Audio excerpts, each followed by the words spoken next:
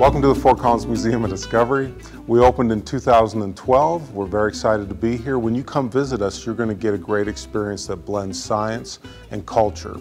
Hands-on activities, artifact-based storytelling, all in a seamless experience. We talk about water in a bunch of different ways, and we talk about the river in different ways in this uh, museum. You can find out about the whole use of irrigation and agriculture in the food, forage, and farm area. Um, we, irrigation, water law is a critical part of our story, but also the river itself as a piece of the natural environment. When you come to the Fort Collins Museum of Discovery, you're going to look at exhibits that talk about human occupation on this landscape for over 12,000 years. Native Americans, early Folsom man was here 12,000 years ago.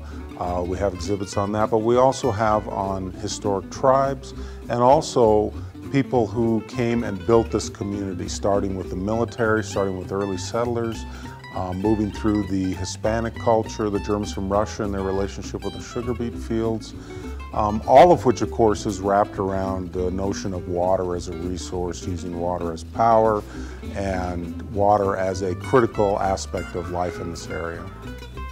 Make sure you set aside time to visit the rooftop deck, which provides a bird's eye view of the area. To the north, you can see the Poudre River running through town. Just nearby to the east, you'll find the Coy Ditch. Built in 1865, the Coy Ditch is a small regional ditch, but one of the oldest still in operation.